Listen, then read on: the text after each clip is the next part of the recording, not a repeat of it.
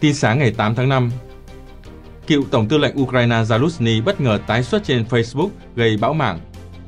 Ukraine ồ ạt phản công làm gián đoạn cuộc tấn công của Nga gần Bakhmut. Hà Lan sẽ giao phi cơ chiến đấu F-16 cho Ukraine vào mùa thu. Giới nhà giàu Trung Quốc ồ ạt di cư đến Nhật Bản. Lính Mỹ bị bắt ở Nga vì cáo buộc trộm cắp. Boeing bị điều tra vì nghi vấn làm giả hồ sơ kiểm định phi cơ. Văn San xin kính chào quý vị và các bạn. Quý vị đang theo dõi bản tin sáng thứ tư ngày 8 tháng 5 của DKN Thời sự. Sau đây là nội dung bản tin.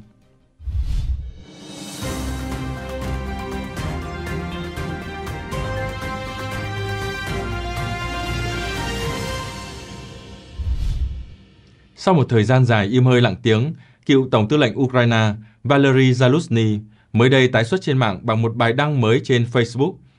Động thái mới của ông Zaluzny thu hút sự chú ý đặc biệt của giới Ukraine. New Voice of Ukraine đưa tin. Theo đó, ngày 4 tháng 5 mới đây, chia sẻ về kỹ năng bắn súng ấn tượng của mình khi bắn trúng vỏ đạn bằng khẩu súng ngắn Glock 17, cựu Tổng tư lệnh lực lượng vũ trang Ukraine Valery Zaluzny vốn được nhiều người Ukraine xem là người hùng viết trên Facebook rằng 25 mét Glock 17 vẫn còn thuốc súng trong ổ đạn. Kèm theo bài viết là bức ảnh một viên đạn bị bắn nát vỏ. Bài viết của ông Zaluzny ngay lập tức thu hút sự chú ý đặc biệt của người Ukraine khi nhận được hàng nghìn lượt thích và hàng trăm bình luận. Đa số người hâm mộ đã bày tỏ niềm vui khi ông Zaluzny hoạt động trở lại trên mạng xã hội và khuyến khích ông tích cực tương tác hơn trên Facebook. Với bài viết ngắn ngủi này, nhưng ngài đã thực sự làm tôi vui lên và khiến tôi mỉm cười lần đầu tiên sau bao ngày buồn bã và tuyệt vọng. Tôi đã rất nhớ ngài. Tình nguyện viên Victoria Mirosnitschenko viết dưới bài đăng của tướng Zaluzny. Ngài Valery Zaluzny hãy đăng bài viết ở đây thường xuyên hơn. Chỉ cần đăng một bài là tâm trạng của tôi đã được cải thiện. Mọi chuyện dễ dàng hơn một chút vì tôi nhận ra rằng tất cả vẫn chưa mất đi và vẫn còn hy vọng. Nhân viên y tế Oksana Ruban bình luận. Trước đó, vào ngày 8 tháng 2, Tổng thống Zelensky thông báo rằng tướng Zaluzny, vốn được nhiều quân nhân và người dân Ukraine yêu mến, xem là anh hùng, sẽ từ chức Tổng tư lệnh các lực lượng vũ trang Ukraine, và người kế nhiệm ông là tư lệnh các lực lượng mặt đất Ukraine Oleksandr Sitsky. Vào ngày 7 tháng 3, Tổng thống Zelensky đã bổ nhiệm tướng Zaluzny làm đại sứ Ukraine tại Vương quốc Anh. Kyiv đã không bổ nhiệm đại sứ tại London kể từ mùa hè năm 2023 khi ông Vadim Pristaiko bị cách chức. Cuối tháng 4, các nguồn tin Ukraine cho biết cựu Tổng tư lệnh Valery Zaluzny đã bị các sĩ quan của cơ quan an ninh Ukraine SBU bắt giữ. Kênh Resident cho biết vào thời điểm đó rằng tướng Zaluzny bị SBU giam giữ từ một tháng trước và được canh phòng nghiêm ngặt do văn phòng Tổng thống Ukraine muốn thuyết phục ông đồng ý làm việc tại London và từ bỏ tham vọng trở thành Tổng thống. Vũ khí, đạn dược từ các gói viện trợ mới được phương Tây phê duyệt gần đây đã đến chiến trường. Lực lượng Ukraine đã tiến hành một loạt các cuộc phản công ở phía nam Ivanivsk, phá vỡ các nỗ lực tấn công của Nga gần Bakhmut. Báo cáo tiền tuyến của Ukraine được trang Euromaidan Press đưa tin ngày 7 tháng 5. Theo cả nguồn tin Nga lẫn Ukraine, các cuộc phản công của quân Ukraine đã thành công và sau đó các binh sĩ của lữ đoàn xung kích số 92 Ukraine đã công bố nhiều đoạn video chiến đấu thực tế. Theo Euromaidan Press, Ukraine ban đầu tiến hành phân tách rộng rãi các vị trí bắn của Nga bằng phi cơ không người lái FPV.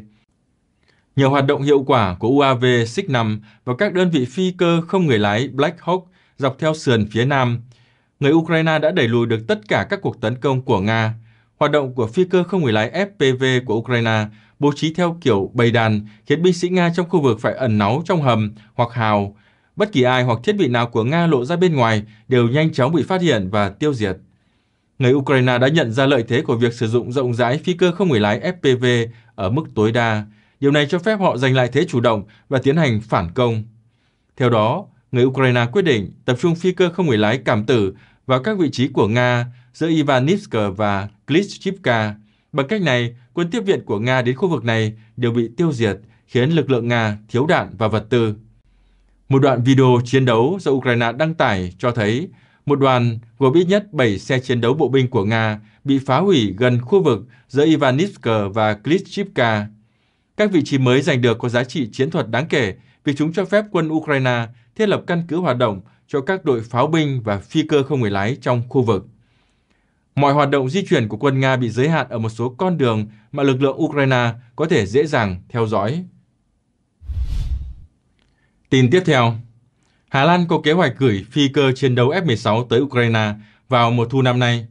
Bộ trưởng Quốc phòng Hà Lan Kasa Olongren cho biết, hy vọng mọi điều kiện để bắt đầu giao hàng sẽ được đáp ứng thành công, bao gồm đào tạo phi công Ukraine, đào tạo nhân viên phục vụ và chuyển giao phi cơ thực tế.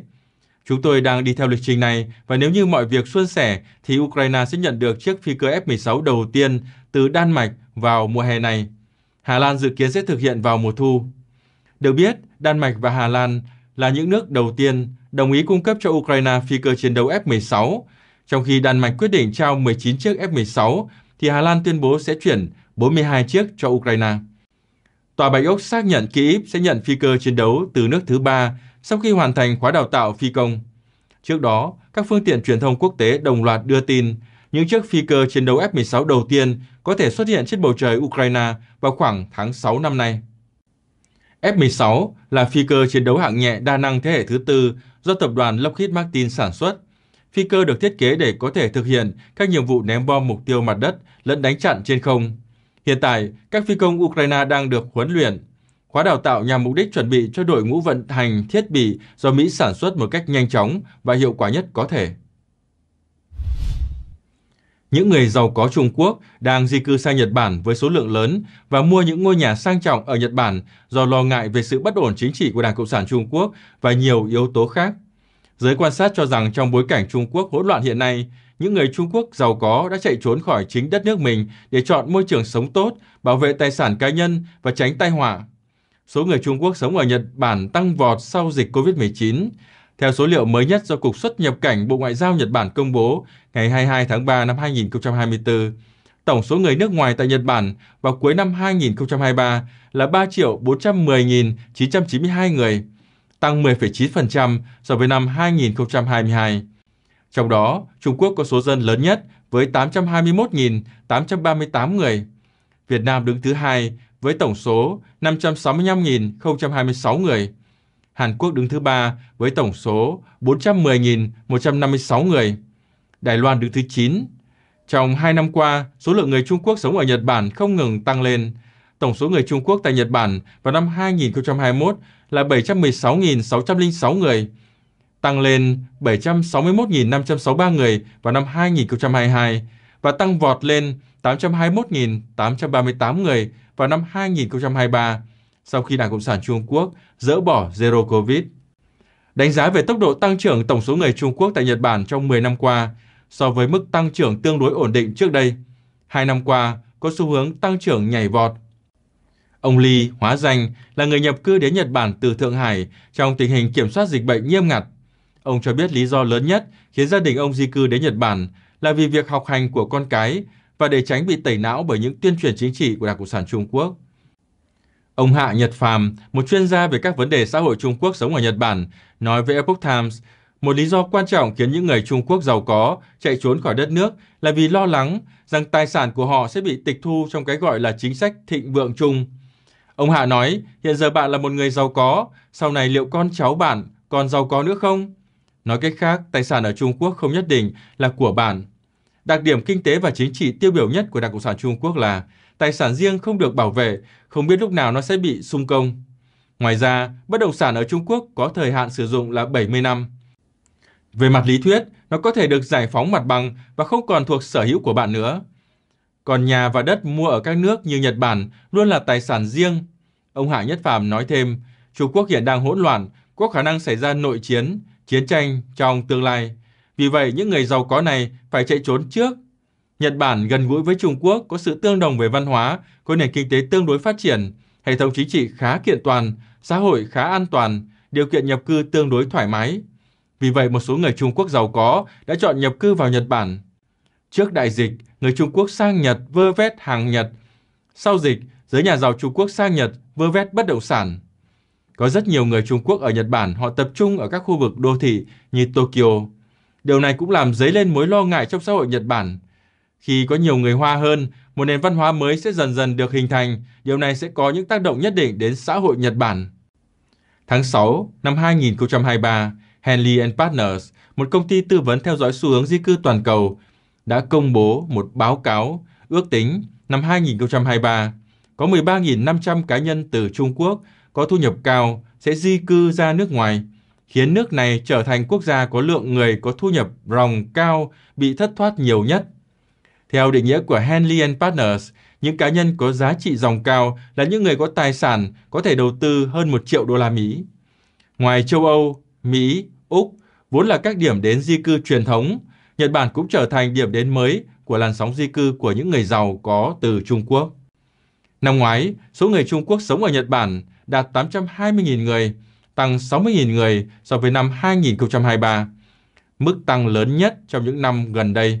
Có thể thấy tốc độ tăng trưởng của những người Trung Quốc ở Nhật Bản tỷ lệ thuận với sự suy thoái kinh tế của Trung Quốc. Việc chính quyền liên tục vơ vét tài sản riêng và sự gia tăng của nhiều yếu tố bất lợi xã hội ngày càng khiến nhiều người giàu, có tài năng muốn trốn khỏi Trung Quốc. Một binh sĩ Hoa Kỳ đã bị giam giữ ở Nga vì cáo buộc phạm tội hình sự. Bộ Ngoại giao và Bộ Quốc phòng Mỹ ngày 5 tháng 5 cho biết. Đài CNN dẫn lời hai quan chức Mỹ cho hay quân nhân Mỹ này bị bắt vào tuần trước với nghi ngờ trộm cắp và hiện đang bị giam giữ trước khi bị xét xử. Theo lời quan chức trên, quân nhân Mỹ có tên Gordon Black, 34 tuổi và là một trung sĩ tham mưu thuộc quân đội. Quân nhân này đang trong quá trình trở về căn cứ Fort Cavaros, bang Texas sau thời gian đóng quân ở Hàn Quốc. Trung sĩ Black bị bắt hôm 2 tháng 5 và Nga đã thông báo với Bộ Ngoại giao Mỹ về việc giam giữ hình sự đối với quân nhân này. Theo Công ước Viên về quan hệ lãnh sự, Cynthia Smith, phát ngôn viên của lục quân Mỹ xác nhận với Newsweek rằng quân đội đã thông báo cho gia đình và Bộ Ngoại giao Mỹ đang cung cấp các hỗ trợ lãnh sự thích hợp cho người quân nhân tại Nga. Theo đài CNN, Mỹ đã nhiều lần cảnh báo công dân Mỹ không tới Nga. Sau vụ Moscow bắt công dân mang hai quốc tịch Nga-Mỹ Kaseni Karenina hồi tháng 2 vừa qua, người phát ngôn Hội đồng An ninh Quốc gia Mỹ John Kirby đã nhắc lại cảnh báo về mối nguy hiểm cho công dân Mỹ ở Nga. Cục Hàng không Liên bang Mỹ cho biết đang điều tra nghi vấn nhân viên của Boeing cố tình bỏ qua một số cuộc kiểm tra chất lượng trên phi cơ phản lực Dreamliner 787. Ngày 6 tháng 5 giờ địa phương, Cơ quan Quản lý Hàng không Liên bang Mỹ FAA tuyên bố mở cuộc điều tra mới về tập đoàn sản xuất phi cơ Boeing liên quan đến vi phạm quy định kiểm định chất lượng sản phẩm.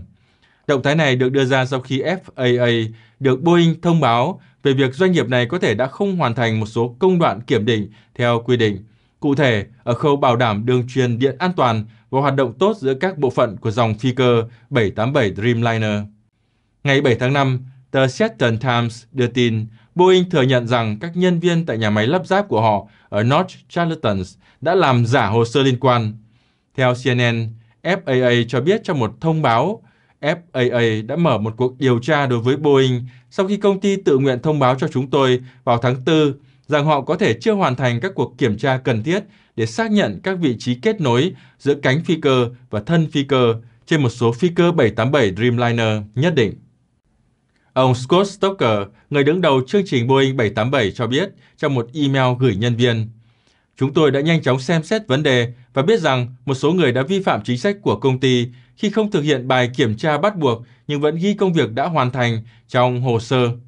Ông Stoker nói thêm rằng đội ngũ kỹ thuật của Boeing đã đánh giá rằng hành vi sai trái này không gây ra rủi ro tức thì về an toàn bay. Thời gian gần đây, Boeing liên tục bị chỉ trích sau loạt sự cố liên quan tới việc kiểm soát chất lượng phi cơ. Hồi đầu tháng 1, phi cơ Boeing 737 MAX 9 mang số hiệu chuyến bay 1282 của hãng hàng không Alaska Airlines của Mỹ buộc phải hạ cánh khẩn cấp sau khi cửa sổ và một phần thân bị thổi bay giữa không trung.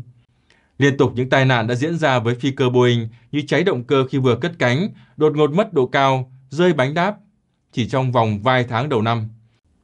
Giám đốc điều hành CEO của Boeing, ông Dave Calhoun, sau đó đã nhận trách nhiệm về sự cố này, đồng thời cam kết hãng sẽ hoàn toàn minh bạch trong quá trình giải quyết cuộc khủng hoảng. Điều này đã góp phần dẫn đến tình trạng thiếu phi cơ dân dụng tại nhiều khu vực trên thế giới. Kính thưa quý vị, bản tin sáng của DKN Thời sự đến đây là kết thúc. Quý vị đừng quên bấm vào nút đăng ký kênh và nút chuông để nhận được thông báo về những bản tin mới nhất của chúng tôi. Chúc quý vị một ngày mới luôn vui vẻ, lạc quan và hạnh phúc. Hẹn gặp lại quý vị trong các bản tin tiếp theo.